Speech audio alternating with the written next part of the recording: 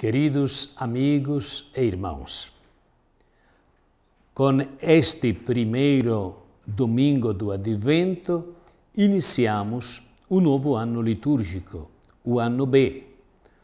Ao longo deste ano, nós seremos acompanhados pelo evangelista Marcos. A passagem deste primeiro domingo do Advento, do ano B, é o capítulo 13, versículos de 36 a 37. Jesus disse: Cuidado, ficai atentos, pois não sabeis quando chegará o momento. É como um homem que, ao viajar, deixou sua casa e confiou a responsabilidade a seus servos, a cada um sua tarefa, mandando que o porteiro ficasse vigiando. Vigiai, portanto, pois não sabeis quando o Senhor da casa volta, à tarde, ao meia-noite, de madrugada ou ao amanhecer. Não aconteça que, vindo de repente, vos encontre dormindo.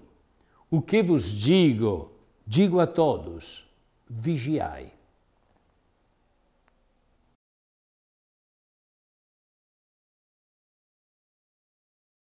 Que bom se abrisses o céu e descesses, diz o profeta Isaías. O profeta abre o advento como um mestre do desejo e da espera. Jesus enche a espera de atenção. Espera e atenção são os dois nomes do advento. Esperar quer dizer dirigir a mente e o coração para algo, para algo que falta, que se aproxima e cresce. E são as mães, aquelas que conhecem de verdade, que fazem a experiência da espera, que aprendem nos nove meses da gestação como o seu ventre fica grávido e leveda de vida nova. Esperar é o infinito do verbo amar. Advento é o tempo das pessoas que se colocam a caminho. Com o advento, tudo se torna mais próximo. Deus se aproxima de nós nós nos aproximamos dos outros. Eu me aproximo de mim mesmo. Se encurtam as distâncias, as distâncias entre o céu e a terra, entre homem e homem, e se empreendem percursos, caminhos. No Evangelho deste primeiro domingo do Advento, o dono da casa parte em viagem e deixa tudo nas mãos dos servos, indicando o trabalho de cada um. É uma constante de muitas parábolas onde Jesus nos mostra o rosto de um Deus que coloca o mundo em nossas mãos, que confia às suas criaturas a inteligência fiel e a ternura lutadora, batalhadora do homem. O homem é investido desta enorme responsabilidade. A nós, e somente a nós, é confiada a guarda, a cura carinhosa da criação, desde os homens, com sua necessidade de comida, saúde, amor, cultura, até as plantas, os animais, as águas, o ar, o universo inteiro é confiado a nós nada podemos delegar a Deus, porque Deus delegou tudo a nós. Então, entendemos por que devemos estar atentos e vigilantes, como uma mãe com seu bebê. Não é uma obrigação, é uma felicidade, é a felicidade do dar. Mas há um duplo perigo sobre nós O primeiro perigo, diz Isaías, é aquele do coração duro. Por que deixas endurecer o nosso coração? De tal forma que este coração fica distante de ti, Senhor. A dureza do coração é a doença que Jesus mais teme, a esclerocardia. Esta doença que Jesus denuncia nos fariseus e que ele quer curar e sarar, e que São Máximo, o confessor, explica de uma forma clara, dizendo: quem tem o coração doce será perdoado. Coração doce é o contrário de um coração endurecido. O segundo perigo é o de viver uma vida adormecida que o senhor da casa, o esperado, não chegue de repente encontrando-vos dormindo. O Evangelho nos convida a despertar, porque sem acordar não se pode sonhar. O risco cotidiano é uma vida adormecida incapaz de perceber chegadas e começos, amanheceres e nascentes, incapaz de ver a existência como uma mãe que espera grávida de luz. O risco é de levar uma vida distraída e sem atenção. O convite, pois, é de vigiar, isto é, de viver atentos. Mas para quê?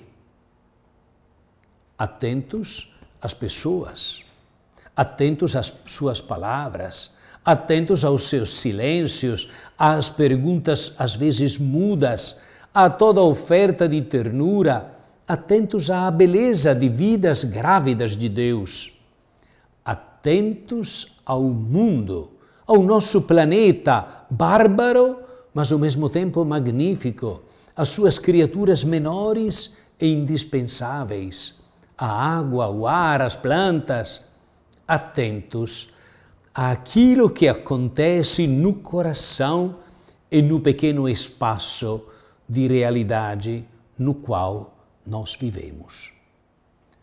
Nós somos barro nas tuas mãos, Senhor. Tu és aquele que nos dá forma.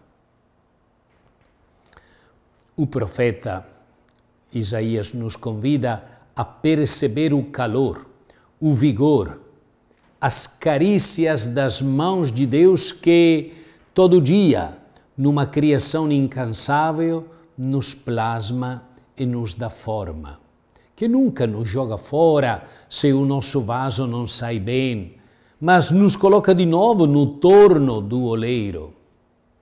Deus me plasma e me dá forma com uma confiança que tantas vezes eu traí e que ele toda vez relança para frente. Vigiai é a palavra do Senhor que faz ocorrer o advento. Falo ser, falo começar mais uma vez, criando ao mesmo tempo a vinda e a espera. Há palavras como essa que, quando ressoam, tem a capacidade de dar vida ao mundo, desenhar horizontes, reevocar imagens e sentimentos, mas também medos e esperanças. Vigiar, pois, é necessário. Vigiar porque tem um futuro, porque há algo a mais, há uma perspectiva é o vigiar de quem na noite perscruta as primeiras luzes do amanhecer. O vigiar de quem presta muita atenção nas pessoas. É vigiar sobre tudo o que nasce, sobre as coisas que germinam, sobre os primeiros passos da luz, sobre os primeiros passos da paz. Ó oh Deus, Senhor da vigilância, estamos reunidos com muita alegria e entusiasmo para nos preparar para a chegada do Natal que se aproxima. Juntos, podemos viver com maior intensidade e emoção à espera do vosso Filho. Ele já veio, mas continuamente nos visita, principalmente no tempo do Natal. Que estes encontros nos ajudem a ser vigilantes e atentos aos vossos sinais até a vossa derradeira manifestação.